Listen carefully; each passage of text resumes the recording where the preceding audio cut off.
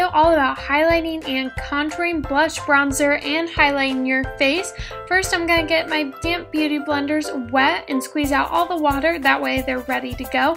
Half of my face on the left is going to be drugstore, the right is going to be high-end. I'll keep reminding you throughout the video. I'm also going to be showing you the products that I'm using and give you a comparison while I'm telling you what to do. A lot of the drugstore products that I chose were very similar. I do think the high-end are definitely the more quality choice, but definitely super similar um, feels throughout the whole video as you can see. I already have on my foundation, though before you cream, contour, bronze, and highlight, you also can do your foundation over top of that if you prefer a really natural look. First we are going to correct though. I like to use something either peachy or pink. I've really been into the pink tones lately. If you are a deeper skin tone than me, you're really going to want to make sure that you use something that's more peach to orange depending on how deep you are. Only conceal under your eyes are correct if you really have dark circles or darkness. I have a lot of blue under there that if I do not correct before I highlight, my under eyes will look very ashy throughout the day or kind of gray. So if you have this same problem, then I would definitely check out either using a peach, pink, or orange concealer. Just because you use orange in your medium skin tone doesn't mean it's going to correct any better than using a peach. You also want to make sure that this is typically darker than your skin, but I have found that the pink tones really do correct. Um, I really also like the Erase Paste in the number 2 medium, even though it is darker than my skin tone, when my dark circles are really bad, it really helps to correct. I like to use my ring finger to press in the product before we move on to highlighting. There are plenty of ways you can highlight your face, though I like to use a really pigmented concealer. I actually really like both of these. I really love this Tarte Shape Tape, but as I was using the Dream Touch Lumi Concealer by Maybelline again, I realized how great it was, and it's a great drugstore concealer. It's really just a great concealer in general. So for highlighting, there's a couple places that you can highlight. I like to keep my highlight close to make my cheeks pop. You want to use highlighting in any places where you want your cheeks or face to be emphasized. You want it to be bigger, brought forward, you want it to be enlarged. Anything that you want to be emphasized, you want to highlight. So I like to keep my highlighting close underneath my eyes to really make my cheekbones pop.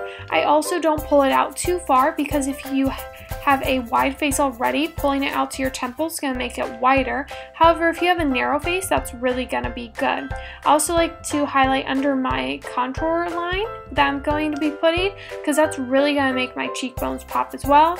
I like to do a U on my forehead because that's going to lift my brows and balance the whole look out and I also like to do an upside down U on the chin because for some reason this looks so much better than the X. Um, a lot of people just do an X on their chin and just kind of like put it on sloppy which is what I used to do but I found that this little upside down U just looks so much prettier. I don't know why, but I just feel like it's worth highlighting your chin. I'm going in with my damp beauty blender and I'm just going to press this product into the skin. You don't want the beauty blender to be so wet that it's like wet on your skin like taking away the product you just want it to feel cool and use soft patting motions to press this concealer into your skin now when you're choosing your concealer shade, you can do it one to three shades lighter to your skin tone. I like to make my concealer pretty bright because I really like how it really makes my features stand out. My face can look very flat, so by using a lighter concealer, it's really going to make everything pop. Though if you don't want to do that, you want to look a, more, little bit more natural, just use like one shade lighter than your skin tone and it will look a lot more even. So you just want to keep patting this on your skin until all the product is pressed in. We are going to be going over this several times, so don't worry if it doesn't look completely blended right now. Now we're going to move on to cream contouring. I love cream contour products and I was actually really impressed by the colors at the drugstore. So there's something to consider when you're choosing your contour color. You can either do something cool, which is to the left, or something a little more neutral. You can also do something warm. I don't prefer to do that in like a cream product. I like to keep mine more neutral to cool. The fairer you are, the cooler you typically want to go with your contour color. And the um, deeper your skin tone gets or the more tan, you can go a little bit warmer. I prefer to contour under my cheekbones to really make them pop. I like to round out the contour under my cheekbones instead of just doing a straight diagonal line. You also want to make sure that you're contouring from the tip of your ear down to your lip, though I like to stop kind of at the corner of my eye as you can see here. Also like to do the jawline. You can do under jawline or right on the side. That's going to make it look a lot sharper. I also do contour my nose with a cream today. I prefer just doing a powder, though I wanted to show you how to do everything today. So I did contour my nose with cream, though I prefer just doing it with a powder. It's a lot easier and it looks a lot nicer and more natural. So when blending out your contours, you want to make sure that you're blending in the direction you want your face to be lifted. So my cheekbones, I don't want them to droop down anymore, so I'm going to blend the contour up. My face, I want to bring it kind of um, forward and make it look more structured, so I'm going to blend the contour down. Also my jawline, I'm going to blend that down because we don't want to blend it up. We want to sharpen it underneath and make it look like underneath is more structured. So with the nose, I'm also blending this down and I also am going to use my finger to blend it out slightly. I do, again, prefer something cool on the nose. I have always um, seen that on your nose it will pull warm no matter what color you're using. It typically will pull more warm even if you can use it on your face. I also contoured under my lip today just a little bit and I'm blending that out. This is going to make your lips look poutier. I also recommend doing the popsicle lip technique. This always makes my lips so much bigger. And as you can see the difference between one side contoured and one side not, you can see my cheekbones just really stand out. Next I'm going to be using this contour color that's a lot cooler and it's okay if it's a little bit cool at first because we are going to be going over with a cream bronzer.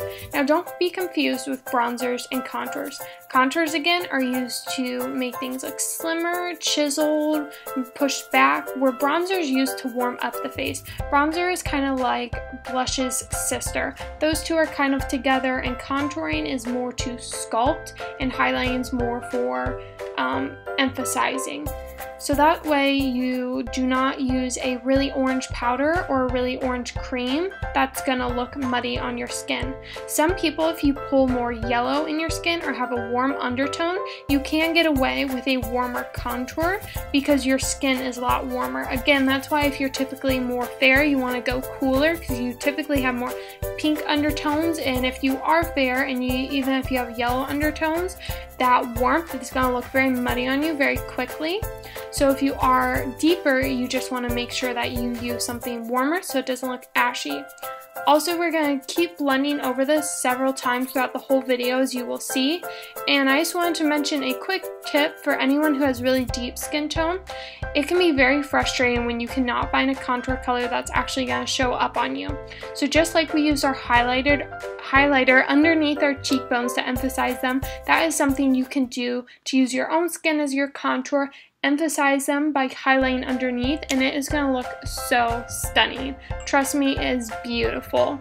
Next, we're going to move on to baking. So first, you're going to need a pan. Then you're going to get out your favorite baking mix. I only use one egg, but I got out two. So first, you're going to crack your egg. Make sure you wash your hands afterwards before moving on to the next step. Then you're going to use a cup of pancake mix. Super yummy. Then you're going to dump your baking mix into the pan.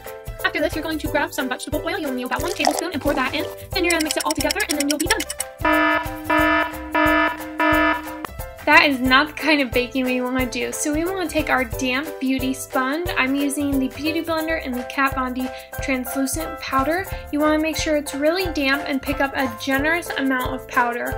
You're wanting to set your face with this because baking is all about putting a ton of powder on your skin so that the heat cannot escape. And when the heat can't escape, it's literally baking the powder with your skin and the heat that's coming off of your body. This is going to make your makeup stay all all day and I personally think that your makeup looks the most flawless when you do this. For the everyday woman, if you just want to do this under your eye where you put concealer, this is not going to make it crease and it's going to stay all day. I also like to put it under my contour to really make it pop as well as where I have smile lines. I find that this helps with creasing. Also, I have a wrinkly forehead, so I also like to put some powder on that. But I'm also going to be showing you just how you can take just normal powder and set your face. This is the NYX HD powder and it's just pure silica. There is no talc in it. It's just a pure silica powder. I noticed that this powder really grips onto your brush so you only need a little bit and I'm just sweeping over all of the places where we concealed and then we're going to, if you feel like it is too powdery, where you just put on the powder, you can also take your damp beauty blender and press that in, but not where you baked. You want to leave that on for about 10 minutes. Now we're going to be moving on to cream bronzer. I am personally a huge fan of cream bronzer. This looks beautiful, especially if you feel like your contour is looking a little bit too cool. By layering a cream bronzer over it, it's going to warm it up and really make it all melt into your skin and look a part of your face. So I'm using the Chanel bronzer. This is my absolute favorite. Every woman needs this in their collection or man, whoever you are. You just need this. It is so beautiful. It's very pricey, though it's so worth it. Um, it just melts into the skin. It's the most beautiful thing ever. I do think that this airbrush makeup from Sally Hansen is very similar. When you are bronzing, you want to make sure you just warm up the face. So I like to do over my contour, night not directly where you contour, but just over it. Higher, kind of like where you would put blush. I also like to go over the forehead. I don't like to use creams over my nose when I'm bronzing. You do not want to put this under your jawline because that's only where you want to contour. And that's really only where I put bronzer. You can dust a little bit over your chin, though I like to focus it on the upper half of my face just to warm it up. Again, we're taking a damp beauty sponge just to blend everything in. This is a great trick. I constantly am going back over my makeup with a damp beauty sponge to blend everything out. You can go over this with powders, creams, but before we start powders, you want to make sure that you set your creams. I'm going over this with just a translucent powder. Either one will do and then you can begin your powders. So first I'm going to contour because this is the most harsh, so then we're going to be topping up bronzer on top so it looks more natural. So this is the e.l.f. contour powder and the Hoola bronzer powder I'll be using. I personally really love the Hoola bronzer. You can get the mini one for $15. It is worth the splurge. It is the most amazing contour powder ever. I like to use this just lightly right under where you contour right under those cheekbones on the side of my face and temples. I'll also put a little bit under the jawline and also the nose. This is what I prefer to contour my nose with. It never looks too warm. It's the perfect color. And then I am going to be doing the same steps on the other side. You can just bring the contour down slightly before the corner of your eye or you can bring it down a little bit more. It's a personal preference depending on how dramatic you want your contour to be. Again, we're also going to be putting that on the nose along the jawline and also underneath the lips. You can skip the creams if you want and just do the powders. You just want to make sure that you set all your creams before you do your powders so that nothing sticks and you don't get any weird patchiness. So again, we are blending this under the jawline before we bronze. Bronze is really going to help to melt everything together to blend the contour in with the skin and the bronzer. So bronzing today, you want to use it just to warm up your face. Again, on the cheeks, I kind of put it where I put blush, over the contour, and then where you put the blush. That way it really melts into the skin. I also like to use it around the forehead to give me some warmth. Again, you do not want to use it under your jawline, and you also can use it on your body to give you a little tan in the summer if you haven't been outside a lot. As you can see, these two bronzers look very similar on the face. Next is blush. There's two places where I like to apply brush. On the apples of your cheeks and back towards the temple. If you just apply the blush on the back of your temples, it's going to make your face look more pulled back, a little more slim. If you put it just on the apples of your cheek, it's going to make your face look more round and it can even make you look older. It's actually a stage trick is to put um, blush on just on the apples of the cheek and it can do both effects. So I like to do just a pop on the apples of the cheeks just to make them look big and then pull the blush back. That's going to give you the best of both worlds. Depending on your face shape, you want to play around with what blush looks best for you. Next is highlighter. This is such a huge thing right now and I personally like it. I think it looks very beautiful, but I'm also doing it very intense. So if you don't want to do this as intense, you don't have to put a cream underneath. That's really going to make your highlighter pop. Also, you can spray your brush after you run it through your highlighter. You can spray it with like a setting spray. That's going to make it more metallic. But if you don't want that, you can just use a synthetic brush or natural hairbrush is going to make it a little bit more sheen. So that's why I really like using the Anastasia Beverly Hills brush A23. So you can see these highlighters are very similar.